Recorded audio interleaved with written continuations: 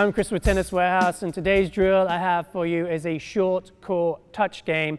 And here we're going to start out with both players up at the net in a service box. And you can play in just two of the service boxes, so you're going kind of down the line as it were, or you can play in all four service boxes if you really want to get warmed up quickly and get sprinting around the court. We're going to play first to seven points and we're going to start each point off by holding the ball on the net and then just letting it gently roll onto your opponent's side of the court.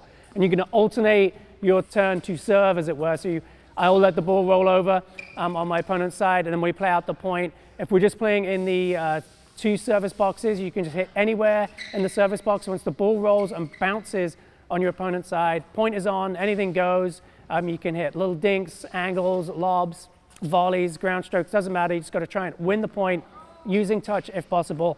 And uh, when you play first to seven, and then when you're playing with the four service boxes, you can really get um, each other running around by hitting angles, going down the line, and really utilizing that short area of the court. Once you're done with this game, you should be nice and warmed up and ready for your regular hitting session. So have fun with this one. For more drills like this, be sure to head to Tennis Warehouse, Tennis Warehouse Europe, or Tennis Only.